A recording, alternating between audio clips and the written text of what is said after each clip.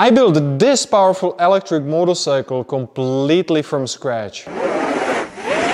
And it's mind-blowing.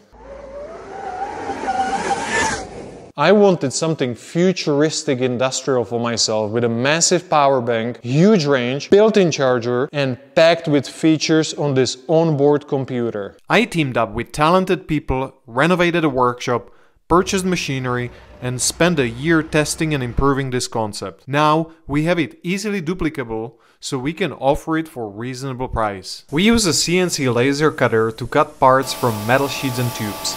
These operations only take few seconds, are very accurate and parts always come out the same. Next we take metal sheets to the CNC press brake. This machine has pre-programmed bending sequences and makes 3D objects from flat metal sheets.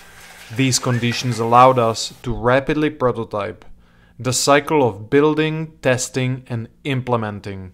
Take a look at this incredible cool feature. It is magnetic flexible door. We hide charging cord inside. It's 5 meters long, 16 feet, and you can just plug the bike straight to the wall and charge it in 70 minutes. It's so convenient, I can't even explain because you don't have to carry any chargers with you.